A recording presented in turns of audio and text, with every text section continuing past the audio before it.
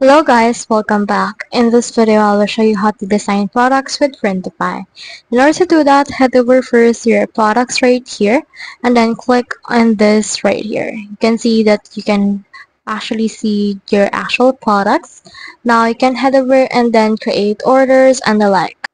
So on your dashboard, you can choose some t-shirts and also mugs and everything that they have right here.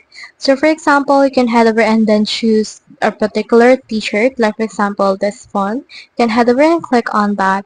And then once you have clicked on that, you should be able to see the product details and the likes. So from there, once you scroll down, you can see this option for start designing.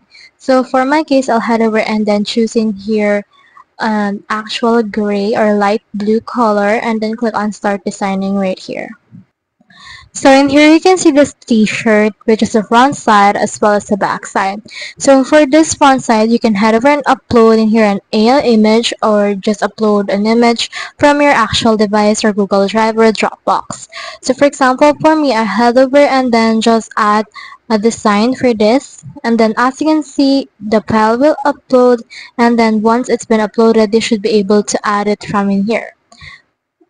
Another option that you can do is you can head over and click on AI image right here and then put in here a style. It can be anime, photographic, digital art, comic book.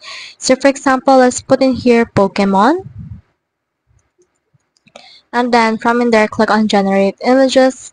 And then you should be able to see in here some images generated by AI that you can add on your actual t-shirt. So just head over and then choose one of them. For example, let's choose this one. And then once I've clicked on this, this should be able to be added. So in here, you can actually enlarge that. So this is the actual pictures that we have. So this one I uploaded, while this one that is loading is from the AI art. So you can position them, enlarge them, or do anything you want with it. So in here, you can also select variants of colors like ash, heather, black, red, and the likes in here as well. So you can head over and click on the save product right here once you're done editing everything. Once you're done with that, you can head over and then make sure that all of this is in stock, add in here a product description, and put in here some mockups and the likes, and then from there, just click on this green button right here in order to publish it to your site. So that's the whole process. If you have any questions, comment them down below. I will try my best to answer. Thanks.